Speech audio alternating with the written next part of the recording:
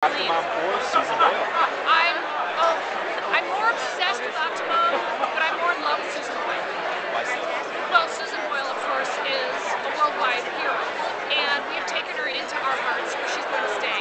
And the Octomom is just a freak show. I can't take eyes off. Susan Boyle, should they make her over or should they let her do it? I think Susan Boyle should only get her eyebrows tweaked slightly, and then they should leave the rest of her the way she is. I, someone said she had And he was uh, telling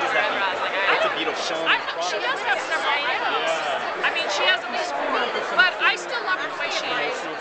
So I, I think that they should just a little tweezing and then let her keep the dress, let her keep the salt and pepper hair, and most importantly, let her keep her attitude, which I think is charming. Are you going to give her a shout out tonight? Are you I might. I feel like the Susan Boyle For free advertising. advertising. Yeah. We may hear some. We might, yeah, you'll definitely hear some tonight.